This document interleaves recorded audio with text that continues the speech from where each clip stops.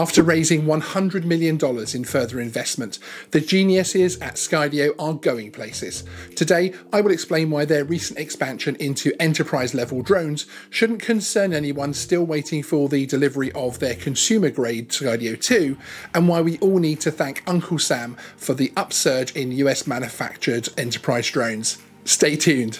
Geeksvana is your drone channel.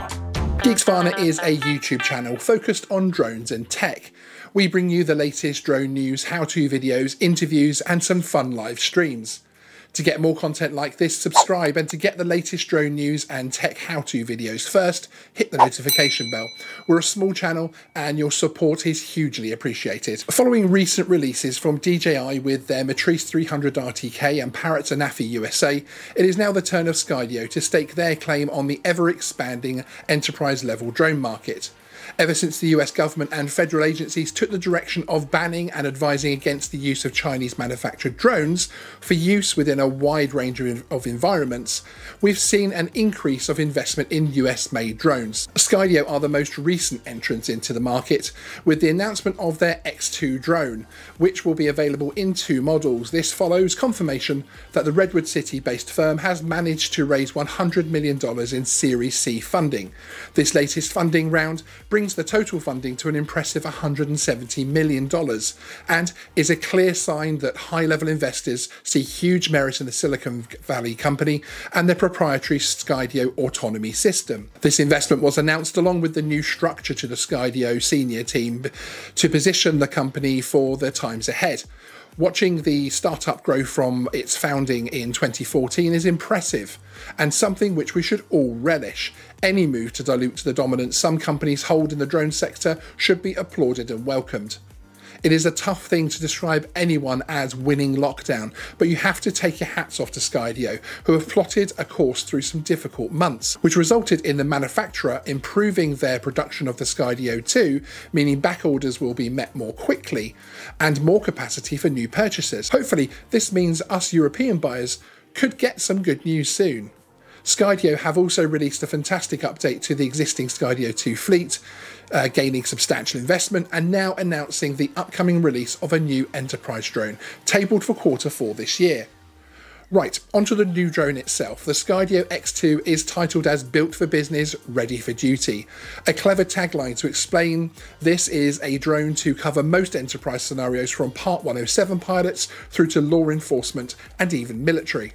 Unlike the recent release from Parrot, who chose to use their existing model, the Anafi, as the design and form factor base, Skydio have wiped the slate clean and will be bringing us a very different and bespoke drone. As you might expect, the drone has at its heart the incredible Skydio autonomy system, which allows the X2 to feature 360 degree situational awareness, IR imaging, and advanced enterprise skills. Highlights include a 360 super zoom, FLIR 320 by 256, 6.2 kilometer range, 180 vertical view, and a 35 minute battery life.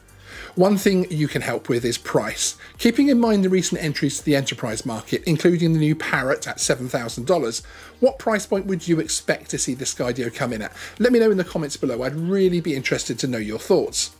Something else new with this particular version of the Skydio drone is that the X2 can be flown at night and comes with an enterprise level controller. This will have a built-in touchscreen which is compatible with gloves and a new wireless system to extend the range. This is an interesting move which will excite many enterprise users. One piece of feedback Geeksvana has been given by many potential users of the newer Parrot Anafi USA was the disappointment that no further enhancement had been made to improve the Parrot controller over the one available with the standard $500 Anafi.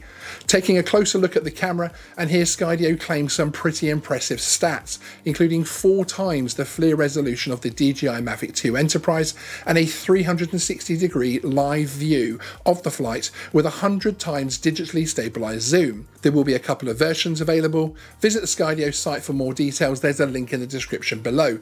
This drone is another fruit from the tree of the US Department of Defense insisting all enterprise drones be made in the USA. So, We have some thanks to give them for expanding their horizons in the drone industry. Even if these latest drones are enterprise focused, more development and innovation happening in the US and Europe can only be a good thing for the future of the drone industry in general. We have some more coming up on the enterprise market very soon on Geeksvana, so stay tuned. Please remember to like and subscribe.